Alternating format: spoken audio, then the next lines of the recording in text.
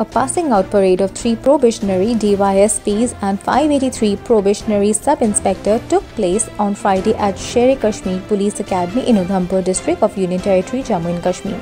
Lieutenant Governor Manoj Sinha took the salute of passing out parade in the presence of DGP Dilbag Singh.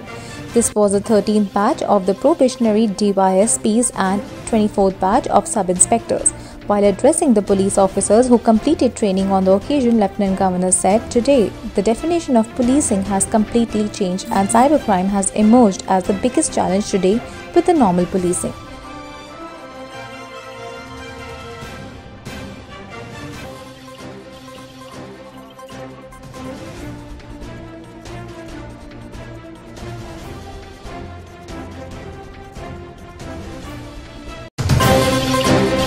Union Minister Dr. Jitendra Singh on Friday said in far-reaching reform regarding the fa- family pensions, the upper ceiling has been raised from 45,000 rupees to 1,25,000 per month.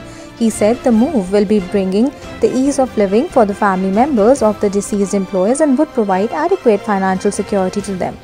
The minister said the Department of Pension and Pensioners Welfare has issued clarification on the amount of admissible in case a child is eligible to withdraw two family pensions after the death of his or her parents.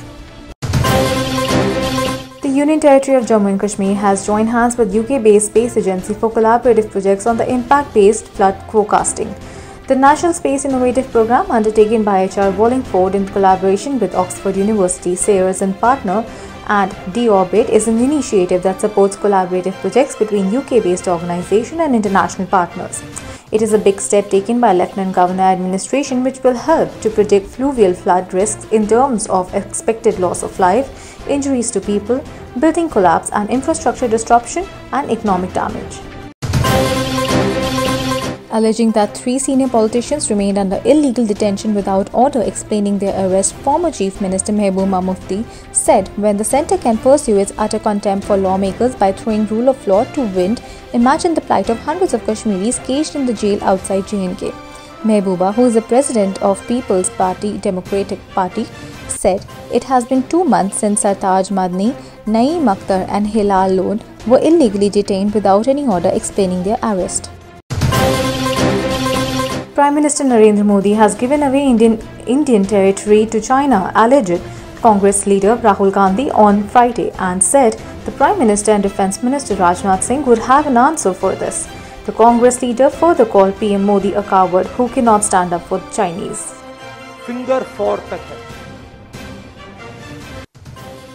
Narendra Modi ने finger three से finger four की जमीन जो हिंदुस्तान की पवित्र जमीन है वो चाइना को पका दी Authorities of Baramulla district on, on Jammu and Kashmir on Friday withdrew an order asking hotels to cancel the pre-bookings at the famous ski resorts of Gulmarg to accommodate participants of Khelo India National Winter Games after the move drew sharp criticism. The order was withdrawn uh, a day after it was issued by the Additional Deputy Commissioner of Baramulla.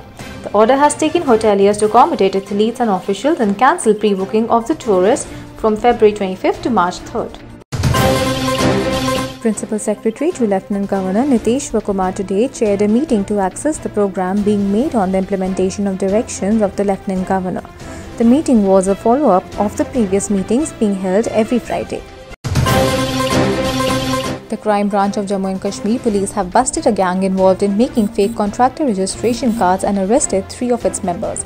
A written complaint was filed in the crime branch Jammu by the contractors of District Doda alleging that the accused has managed to get fake registration cards from the office of the Chief Engineer Irrigation and Flood Control Department Kashmir to grab government money and there is a gang of criminals who are making such type of fake documents. Acting on the complaint, the crime branch Jammu has started investigating the case which leads to the busting of gang involved in making fake contractor registration cards. India's total active case load has been a sharp decline, falling to 1,35,926 on Friday, according to the Ministry of Health and Family Welfare. The total positive cases on the country comprises of only 1.25% of the total cases. A day on the change of the active cases in the last few weeks shows a consistent decline. The national recovery rate continues to be one of the highest globally.